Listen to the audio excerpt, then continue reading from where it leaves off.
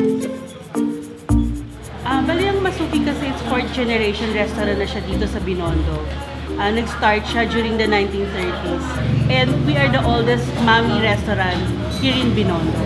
Yung original talagang na, na recipe nito galing dun sa grand uncle ko. Yung pa rin yung ginagamit namin hanggang ngayon. Sa production ng mami namin kasi, yung pa rin very traditional pa rin kami. Yung way of kneading namin doon sa noodles namin, tao pa rin ang gumagawa. Meron kami mahabang pole na, sina, na rolling pin na hindi mo pwedeng i-roll kasi. So kailangan siya, sakyan siya ng tao. You have to achieve that yung noodles na makunat eh. Hindi hindi yung malambot sa sa bibig.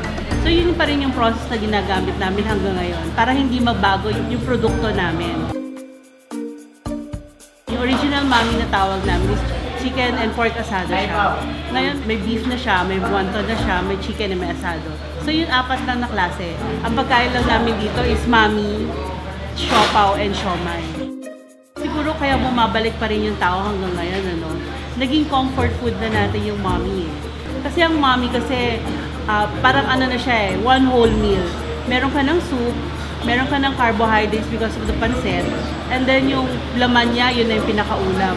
So madali siyang kainin, sandali lang pwede mo na siyang ubusin. Saka nakakabusog pa siya.